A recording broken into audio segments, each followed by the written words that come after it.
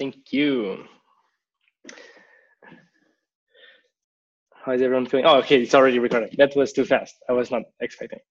Um, cool. So we are five minutes in, so let's start. Today is December 11th, uh, 2017, and this is the IPFS All Hands call.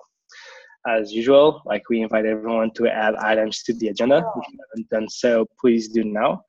The um, link to the notes of the session, I'm going to post it here on Zoom, and you can also see it on the GitHub issue on IPFS slash PM repo. Cool. So I see we have three items today and a demo. Let's go to the first item. Uh, Richard with IPFS key management. Is Richard? Oh, there you go. Richard is there. I see. Richard, can, can you can you like, is your microphone working? Can you try to speak? Uh, can you hear me, Richard? If you can hear, can you do a thumbs up? Perhaps no. Where's Richard? All right, so uh, maybe uh, while you try to figure if you can get your microphone working, we can like go to another item in the agenda. Sounds good. Well, you. Um,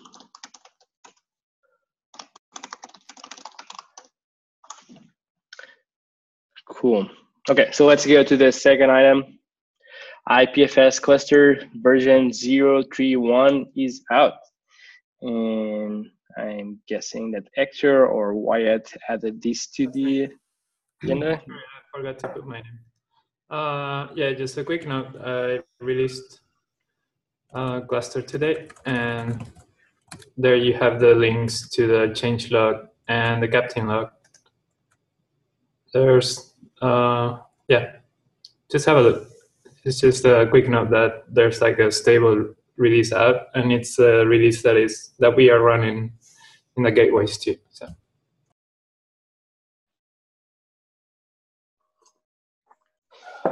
Sweet. Any questions for Hector? What's up? Awesome. Okay, so yes, definitely go check it out the changelog and the captain log to see what was the latest additions, and please share feedback. Cool. So let's go to the next item on agenda. It's IPFS Barcelona Pound Two. Yes. Um, so that's me. Uh, this Saturday, which is the 16th of December, we will do the the second IPFS Barcelona meetup in a different different place this time. Uh, if you're close by, you can obviously come and you can RSVP. Otherwise, if you're remote, we still have the IRC channel, and I am still gonna do the same as I did last time to stream everything and would be super appreciated if you want to to participate remotely and help answering questions for people and things like that. So if you could align your time zone with Barcelona time zone for that day, if you're in a different one, that would be very, very cool. Uh, and what we're gonna do is basically hack on different things. There are a few projects that people are working with and some people are trying to do bug fixes to the implementations we have, or they work on their completely unrelated projects, but they feel like the, the space is, is good to be in in general. Uh, and if you come there, there will be free food and drinks and everything.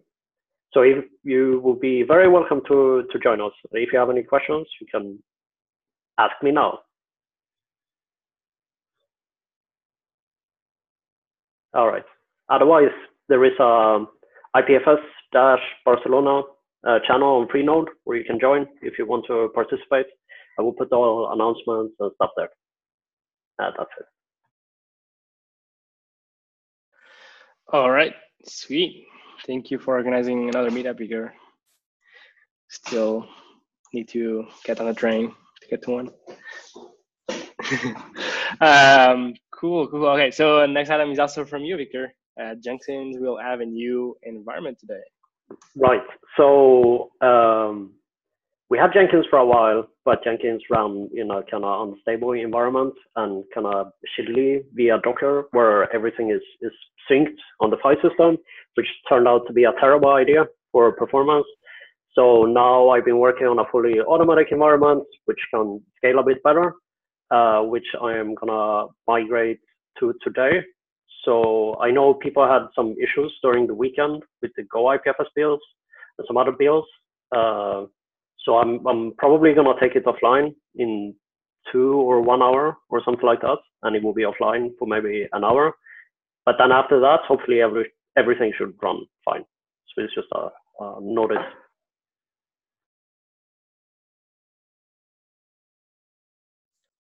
Sounds good. Um, question from me. Um, what is the progress on migrating everything to Jenkins?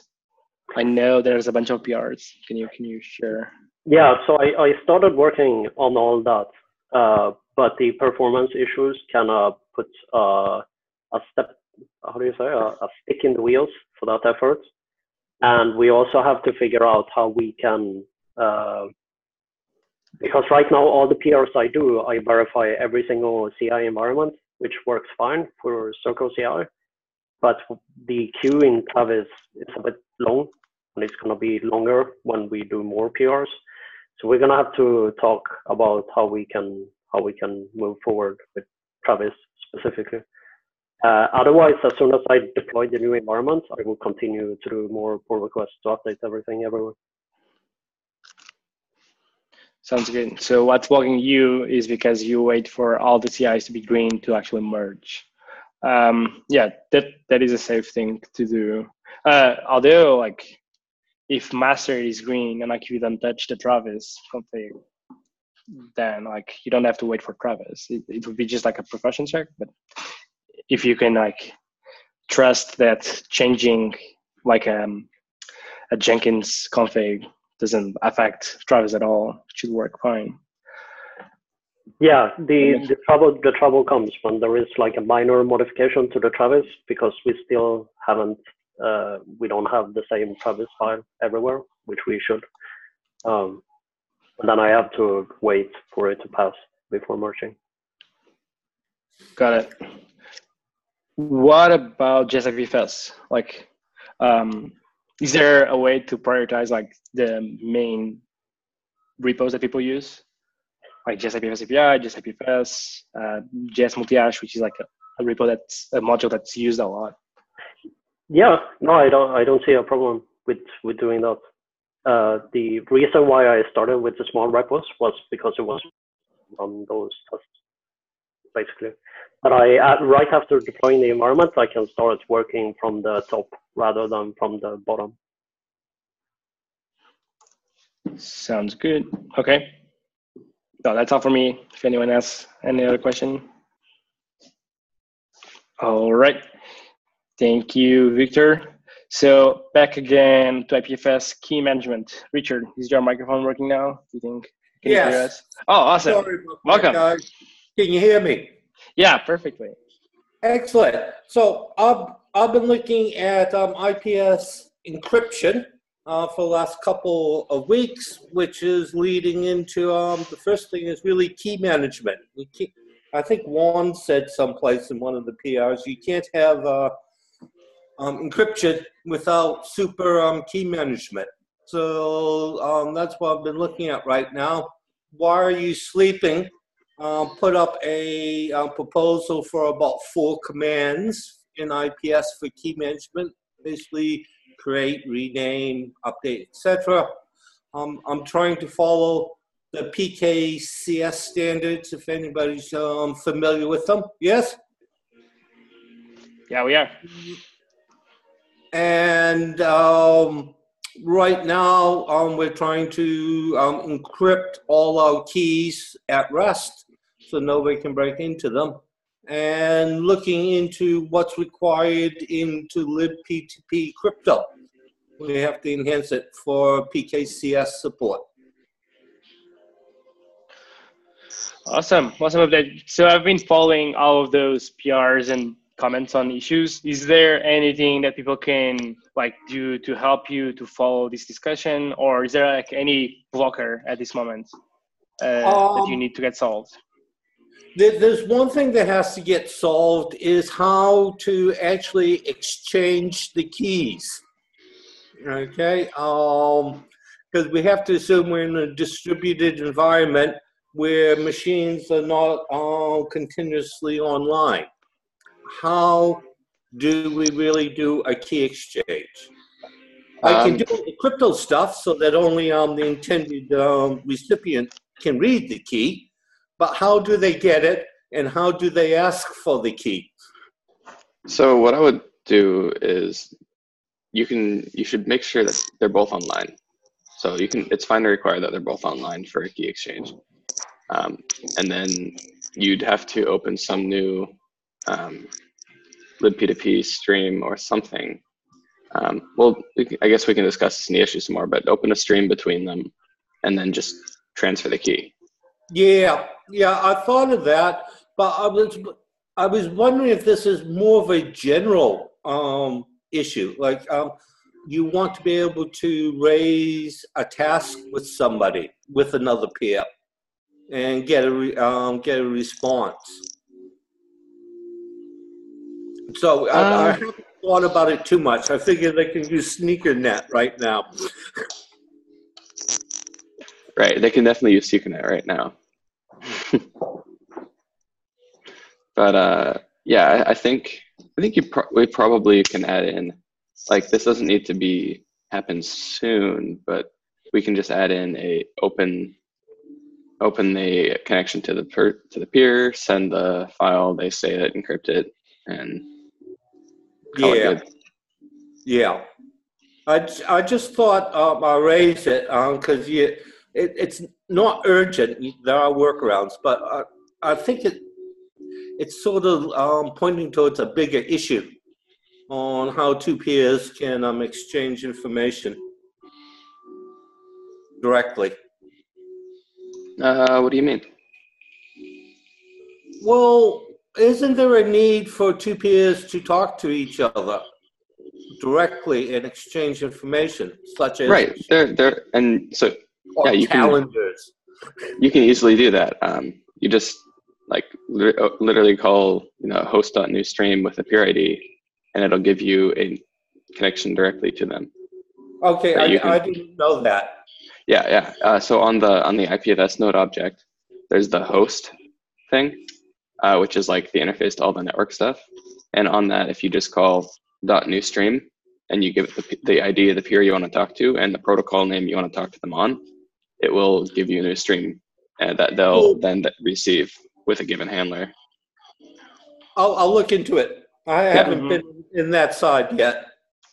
Cool. Yeah. Um, if I may chime in, like, so from the the comment, the issues that you have created, sure, and from what I could understand, so what, what IPFS offers today by default is that like communications between peers are encrypted uh, always and authenticated. What IPFS doesn't do by default, or doesn't even offer a primitive for that, is encrypt the content and then send the content to specific peers so that they are the only ones that can decrypt that content. So that will be like encryption of the content at rest. Um, and that is like what is missing for i think your use case but maybe i don't understand it fully um, so yeah let's perhaps like follow this on the, the issue like on your ipfs encryption repo and, and make sure that we are uh, targeting what is the real need here and that we don't repeat something that's already there Agree hundred percent. Review is always excellent. awesome Um, the, the other issue I have is, as you're aware, David, is that there's going to be some crypto work that's required in um, libp2p crypto. Mhm. Um, I'm just concerned it's it's a lot to work. And right now I'm using a package I'm not too happy with, Node Forge, neither are you. Uh, Yeah. But at least it gives me the primitives I need to um, to do things.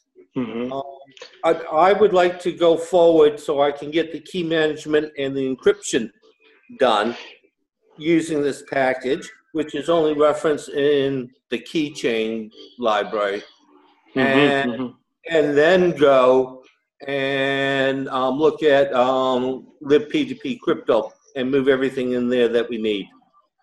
Uh, Absolutely. And and so NodeForge is an amazing package because it does a one of the first of its kind. It has a lot of crypto primitives. The main issue with NodeForge, it was like built using AMD. So uh, it's not using CommonJS nor ECMAScript uh, 6 modules, which makes it really hard to import slash require into a Node.js or browser project today. No, Essentially- no, it, it's working now. Um, I, I have it up I'm running in the browser. Uh, I mean, aegir test. So yeah, yeah, but like it- brings a, a truckload of code with it as Yeah, well. yeah. Like, I, I agree. It, it's a big code package, but so is crypto. true, And true. But like ideally, what we should target is just like extract the pieces, like the function calls that you actually I need. know, I know, but that's gonna take me weeks. Okay, I'm not sure if that's the case, but but maybe we can evaluate that. I know that the NodeForge team also wanted to modularize the NodeForge package. Yeah. And, and there's other packages out there too that, that we can take a look at. Um, Yeah. Hey, I'm, I'm not a big fan of NodeForge. It just, it's doing what I need. Absolutely. now. yeah. We, we used it in the past, like the first version, the first six months or eight months of JSIPFS, we used it. And then essentially we phased it out because it was such a huge beast to carry with us at all times. Uh, but yeah, let, let's like identify exactly what we need and like let's make sure that we understand if it takes weeks or maybe a couple of days, just like to refactor the code that we need. Uh, or also chat with the NodeForge team to see if they are interested in like modularizing the the module right now. Um, I, I've reached out um, to them on, um, well, at least one question right now. Um, uh, technical um, crypto question, and no reply after a week. Don't know what that means. Yeah, maybe. Which doesn't sound good for the project team. Uh, yeah, I'm not sure about the state of the project. Well, let's figure out. Maybe it's not not material anymore. Maybe like they are just busy. Maybe they prefer to be contacted through email or some other medium. Let, let's figure that out. okay. All right. So so yeah, like, let, let's make sure to like follow on all of these through issues. Um, and, and yeah, like, thank you for bringing this up and for pushing for it. Um, no worries. Thank you. So let's go back to agenda. Oh, is there any other question on key management or any other comments that you want to make? Okay, I don't see any hands. All right, I'll continue. So let's go into demos. So that is, this one is from Lidel. A quick update on IPFS Companion. I'm really excited about this one. Yeah, so uh, it's a very quick update. I just, I just like it's the first update after Firefox uh, 57, Firefox Quantum, and I guess I'll just uh, maybe uh, share my screen quickly and just go over uh, those talking points I want to go over. Um, yeah, just quickly move this. Yeah. So um, IPFS Companion uh, is doing well. Uh, we've uh, went o- uh, and uh, got accepted at the Mozilla store. Uh, we've also had uh, first uh, feedback from Mozilla team, uh, first uh, serious feedback after web extensions became the default and legacy extension uh, stopped working in Firefox. Uh, the first, uh, well, maybe I'll just uh, show this is like our uh, extension in uh, Mozilla Store, and we've got somewhere between 500 and 600. Uh, it varies, but usually we've got like quite a nice user base. And if we look at the statistics, it's slowly growing. Uh, we can usually see when there's like a talk or maybe a meetup where someone uh, uh, presents IPFS, there's usually a lot of downloads in one day. And most of our users is uh, on latest Firefox, uh, all the platforms. Uh, this well, like those stats are uh, kind of uh, junky sometimes, but give us uh, good feedback uh, about the direction we are going to. And uh, there's a beta channel uh, when we usually publish a new version every week or maybe more often if there's like a change that we want to smoke test uh, this can be installed uh, instead of uh, the stable version, and you can switch between uh, uh, beta and uh, release versions if you find that the beta version is not up to par with quality, or, some, or if you experience some kind of a bug, you would just report it and switch to the standard one until we fix it. And uh, what we've uh, created, I think, since my last demo is uh, the translation project. Um, um, we've got uh, some interesting transac- uh, translations, uh, usually nearly 100%. And if anyone finds that his or her native language is missing, or maybe you want to uh, go over all, already existing translations and uh, approve them. There's like a special role uh, of language maintainer on this crowd, Crowdin tool we are using. And just let me know, send me email or create a ticket on GitHub that you want to maintain a language and that way you will have like uh, more uh, more rights uh, you could uh, select which translation is better if there are multiple competing ones and stuff like that. And uh, yeah, um, going uh, back to the list, uh, the most important uh, uh, thing that we addressed was oh yeah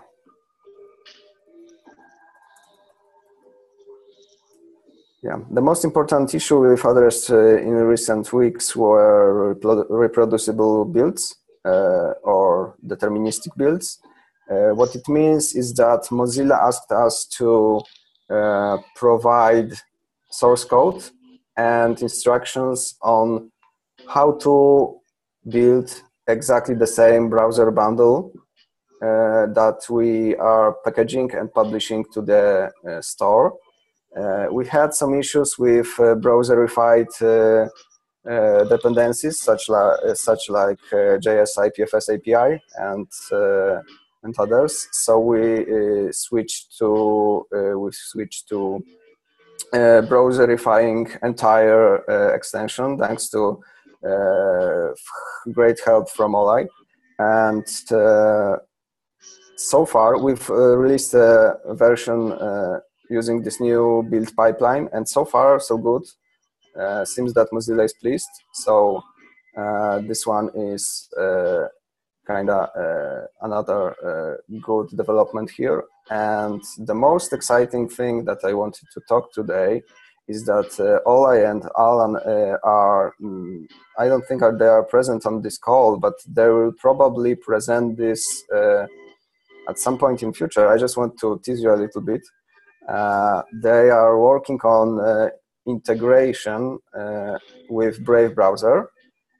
what we want to do is to reuse IPFS companion code base. We've got like a lot of boilerplate and background code that can be uh, very useful and is reused uh, in other browsers, even in browsers that do not uh, support uh, the web extension uh, APIs to the same extent that uh, Firefox and Chrome are supporting them right now. And as you can see, it runs, the current version runs, but that's not, not all what we are planning to do, Oli is working in uh, uh, in a work in progress uh, pull requests. Uh, what we want to do is to leverage the more liberal security model of Brave browser, and we want to uh, let uh, Brave browser users to run uh, JS IPFS embedded in the browser. So what we want to do is to provide a switch that lets users to select if they want to run the old version, which I which is like external uh, daemon. It's usually Go IPFS, or if user wants to run embedded uh, pure JavaScript uh, node uh, within the browser, and there will be like uh, probably uh, some kind of nice UI for that. Uh, I'm not sure if we, we got a screenshot for that. Maybe we got. There is a GIF in one of the PRs, so yeah, yeah, that yeah, one. yeah, exactly. That's what I'm hunting for. yeah, exactly that one. If you scroll down, yeah, that one. Oh yeah, oh, oh, maybe this one. Yeah. So there, that's the plan. We'll probably have a, like this switch. Uh, the great thing is that we agreed that we want to maintain a single code base and we want to reuse uh, uh, as much as we can. And the Brave specific or let's say Firefox specific code will be uh, in a module or maybe it will be up, uh, behind a checkbox uh, or maybe it will be automatically hidden or shown on the specific browser that enables us to provide additional functionality. Uh, this embedded feature will be under Brave, but I think this is a great uh, demonstration for, let's say, we, when we talk with Mozilla at some point. Uh, it's a great illustration of what we want to do in uh, mainstream browser, and it's a great proof of concept. And if someone wants to, to, to run it in the browser natively, they can just install Brave. It's not ready yet.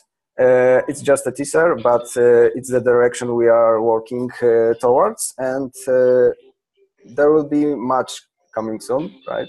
And I hope uh, we'll have another dem- demo. Probably Oli or Alan will uh, will show you something when it's fully baked. So I think that's all. I just wanted to update you that the IPFS companion is is gaining some speed and we'll have a separate initiative to uh, like create a nexus between web UI, IPFS companion and IPFS station. What we want to is to provide uh, like a si single uh, visual language.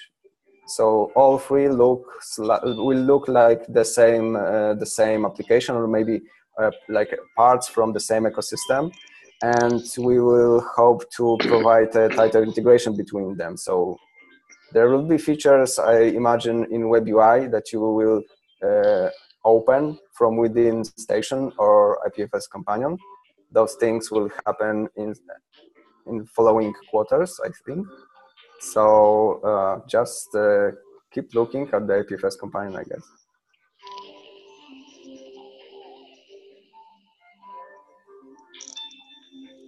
This is awesome. Thank you so much for the demo. So much cool stuff. So much cool work. And, and while always being humble there, like there's a lot of stuff that like are in PR, so you have to stitch things together, but they, they actually work pretty well. And you can like switch between both nodes and like enable certain features, drag and drop files into the extension, have them shared. Uh, it's really cool. And like as Lidel said, if you install IPFS station and the extension is really nice, so like one running and the other like detecting the other one and like connecting and like seeing IPFS all over the place um, with nice UIs. Cool. So I saw one hand at least from Richard, but I like it was in full screen, so maybe there is more hands. Um, let's start with Richard. I think you have a question, and yeah. then. I... Really great tool. Like it a lot. Cool. Um, question is, do I have to keep on updating it all the time, or can it just update itself? Oh, it updates uh, itself if you install it from the. Uh, if you are using Firefox or if you if you are using Chrome, uh, you just install it and it automatically will uh, update when the latest uh, version is uh, Okay, because I'm running Chrome and it seems to be just running a copy that's about a week or so old. Yeah, yeah. So uh, what we do in Chrome is that there is no like developer channel. So if you are using Chrome, you will always have the uh, the release version, which is the most stable and polished. And under Firefox, you have uh, like a possibility to to choose between a release version and the developer beta version. So developer and beta versions will uh, update more frequently, but uh, at some point when we will stabilize, uh, when it will be stable enough, uh, there will be a full release uh, to the Chrome store also. So just be patient, I guess. So use Firefox. Or use Firefox, yeah. Cheers. All right, thank you. Any other questions, comments, ideas? High fives? Oh, okay. Okay, is it okay? Lots of fives, Vital, Oli, and Alan, which could not attend today. Um, lots of really great work. Thank you so much for the update. So, uh, is there a hand now, Peter? Is that a Yeah, yeah, no, it was a was a question. I saw the the in uh, IPFS Companion when they switch between the, the gateway and the embedded node. Does the embedded node means that the node is embedded in the page, or does that just mean that it's a JS IPFS node running in Brave? Yeah, that uh, that's like uh, the browser extension has uh, something called a background page, and it's like a hidden page that you can run uh, JavaScript on, and it's always running when your browser is running. Yeah, Uh, and in Brave, uh, our goal is to run JS IPFS node uh, in that page. So that Yeah. will mean So my, my, my question is more about if the node is being exposed to the page rather than where the node is being run. Because embedded, No, no. like like MetaMask is embedding Web3, for example, in the pages as a content script, and for the window object, that is not what is happening now. No? Uh, no, no, that's a separate thing. Uh, w- this uh, background page is uh, in different namespace. It's like a separate sandbox. Uh, it uh, does not have direct access to your pages. Uh, there are APIs uh, that let you uh, to intro- introduce communication between background pages and uh, scripts in uh, your tabs, but that's not something uh, we will introduce, at least not initially. We need some kind of access control if you want to expose local node to the uh, to the JavaScript running in tabs. That's like a separate separate discussion, and I think we'll, until we've got like some uh, token based uh, uh, authorization, um, we probably won't risk exposing it, or maybe we'll expose only read only API. That's a separate issue, right?